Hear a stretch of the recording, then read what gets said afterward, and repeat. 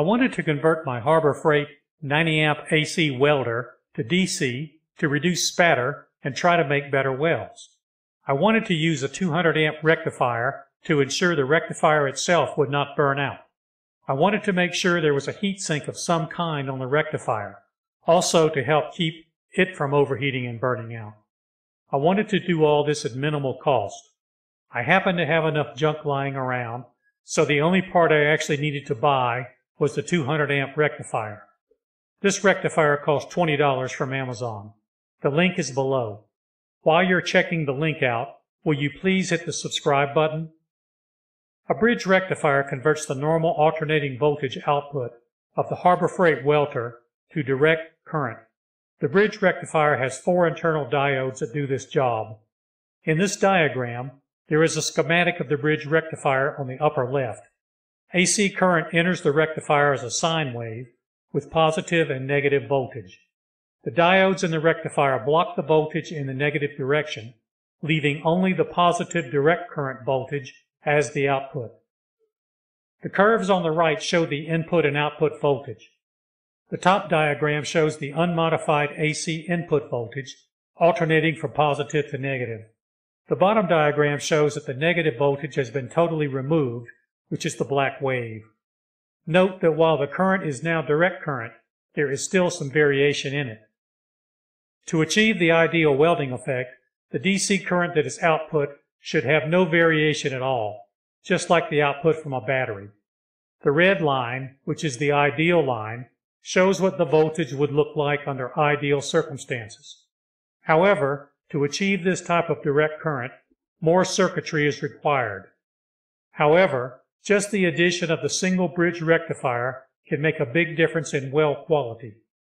And putting additional expensive parts into this welder is like putting lipstick on a pig.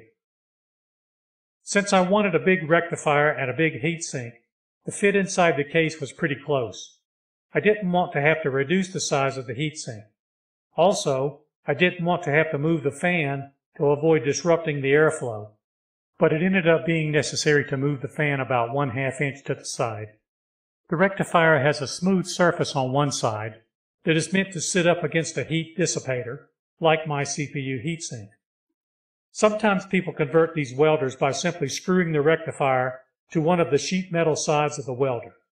I wanted to be sure to use some kind of heat sink to dissipate as much heat as possible. I did a lot of test fitting before drilling any holes. I used some big sheet metal screws to mount one side of the rectifier to the heat sink.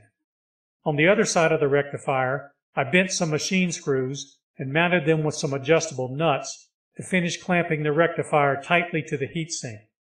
Before I clamped it together for the last time, I cleaned off the mating surfaces with acetone. I then applied thermal grease between the heat sink and the rectifier. It was a good, solid, tight fit. I attached two aluminum mounting brackets to the solid sides of the heatsink. I mounted it on the upper part of the case, right under the spool. I used two of the screws and nuts that came with the rectifier to mount it. There was no interference with the spool. The wire in my unit was 10 millimeters squared in area. That works out to 8 gauge wire. I had an old set of cheap battery jumper cables that happened to be 8 gauge wire. I cut off enough jumper cable to make four wire lengths I needed.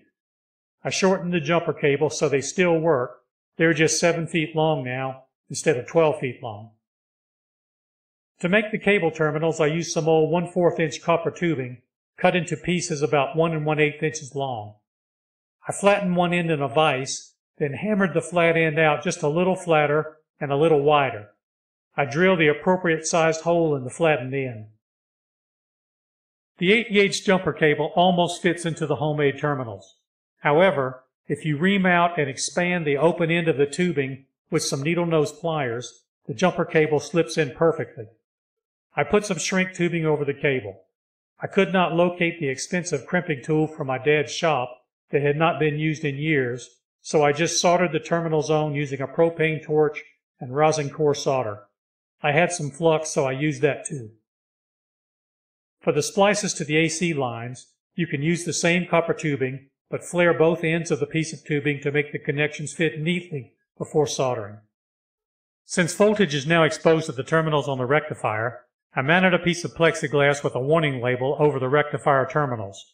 I also put a label on the top stating that the welder has been modified to use DC current in case anyone else ends up with this welder. I ran a 20 second test after the conversion was done.